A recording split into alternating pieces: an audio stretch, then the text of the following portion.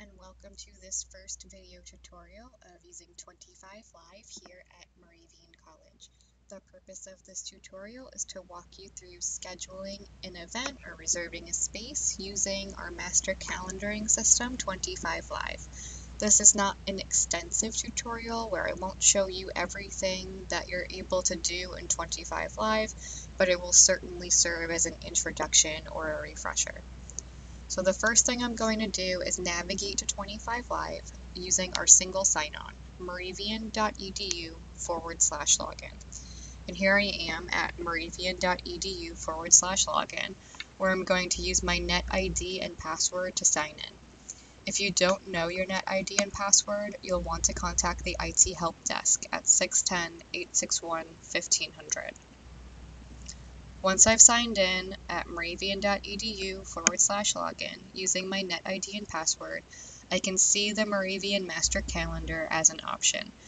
Um, so I'll select 25 Live. And here I can begin scheduling my event.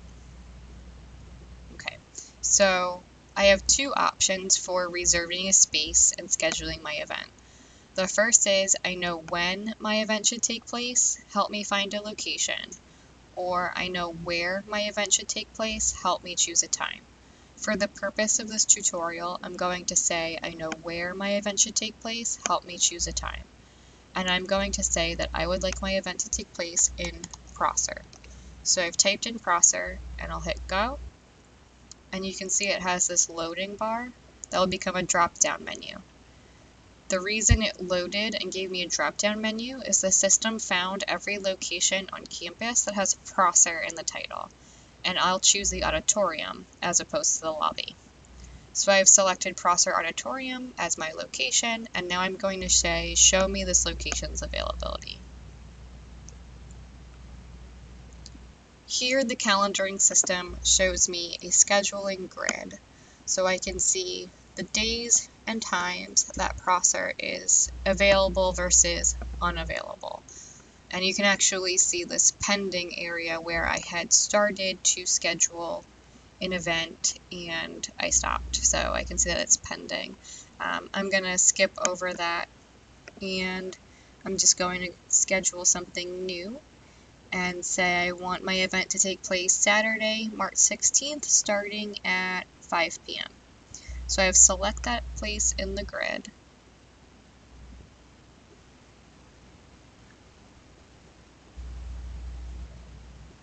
And now I can start entering information for my event. And I'll walk you through the scheduling wizard. I won't take you step by step, but you will see each page.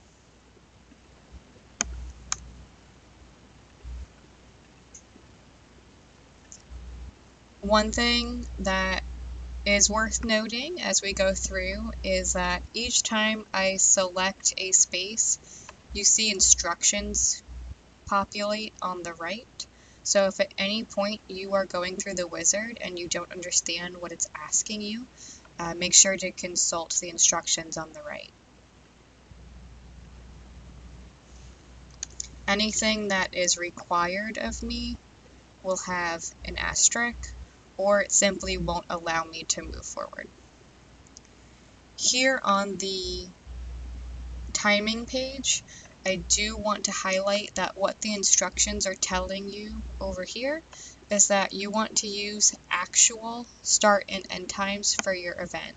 So what that means is when I was in the scheduling grid and said, I want to start my reservation at 5 p.m., that means my event in Prosser is starting at 5. So my guest presenter is taking the stage and we are kicking off the event at 5 p.m. And I can edit the event times to say I know that the person is speaking and I know that there's a Q&A and all of that is going to take us to 6:30 p.m. So at 6:30 p.m. we are finishing up, people are clapping and people are leaving. So that is my actual event time. And then you can choose to add additional time. So if you need time to set something up or just time to be in the space, you can add that. And you can see now the reservation is changing. So the event duration is truly an hour and 30 minutes, but I have the space reserved for an hour and 45 minutes. The reason that actual times are so important is the members of the event logistics committee can go in and say, okay, we have an event from 5 to 6.30 and that event needs, for example, media services. The media services team will go in and say they need 30 minutes to set up their equipment and can reserve things as we go. If we don't know your actual event start and actual event end, we might reserve a space for too long or too little of a time, depending on your needs. So it's just important to all be communicating and all be on the same page as far as actual timing. And I'll go ahead and get off my soapbox now and keep moving us forward. Here's the location page. The location's already been selected at the beginning, so I can move forward. Here I can make a distinction between schedule, scheduler and requester. So right now I'm listed as both, but say I'm scheduling this event on behalf of someone else. I can be the scheduler, but that someone else can be the requester. So say I'm helping out Craig who wants to show a movie in Prosser. I've scheduled this for him, but in reality this is his event. So I just want to make that distinction so people know who they can ask questions, you know, regarding the event or maybe Craig can come in and make an edit and he doesn't have to keep going through me. This page is really important, selecting requirements for the event. So just go through and select anything that you might need. You are required to select at least one, knowing that one of them is I have no needs other than the use of the space as is.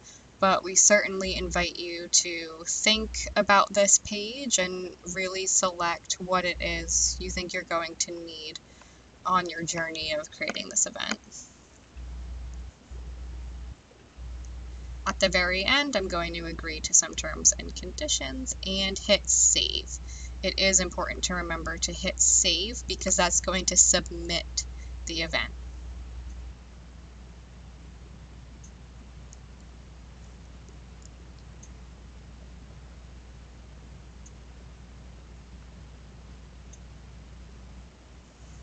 Once the event is saved, I will see that I'm getting a confirmation my request has been successfully submitted and know that it has been successfully submitted. You need to wait to hear from people to see that your event has been confirmed and they will reach out via email. So that is the basic of how I use 25 Live here at Moravian to schedule an event and reserve a space.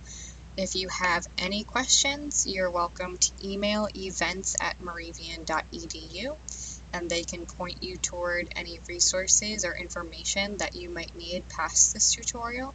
And we also have some other tutorials to answer some other more specific questions. But hopefully this was a helpful start.